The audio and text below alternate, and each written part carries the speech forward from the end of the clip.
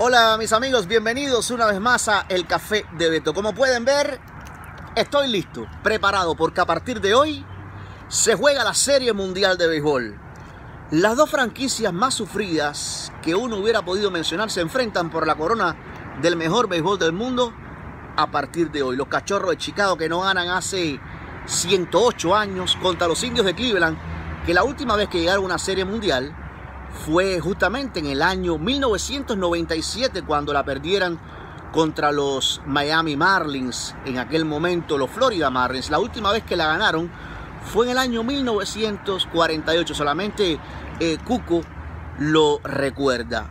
Indios de Cleveland, Cachorro de Chicago. Todo el mundo da como favorito a los Cachorros de Chicago, incluyendo a Las Vegas.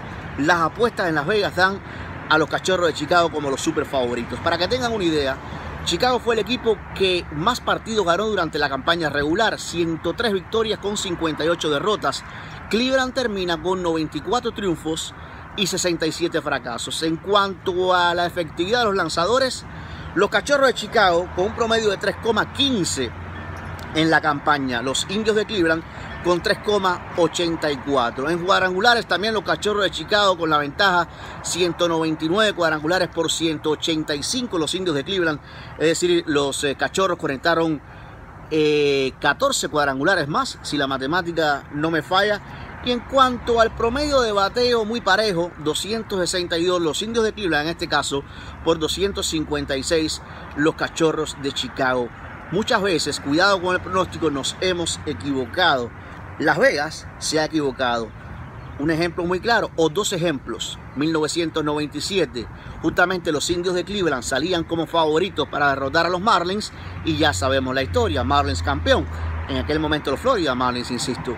Y en el 2003 los Marlins contra los Yankees. Los Marlins contra los Yankees. ¿Y qué pasó? Ganaron los Marlins contra todos los pronósticos. ¿Ocurrirá lo mismo en esta ocasión? ¿Se va usted con el voto popular? ¿Se inclina usted por el favorito de los cachorros de Chicago? ¿Se inclina usted por lo que piensan en Las Vegas? ¿Qué dice su corazón?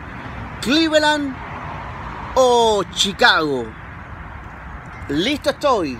¿Está listo usted? Gracias por estar en el Café de Beto.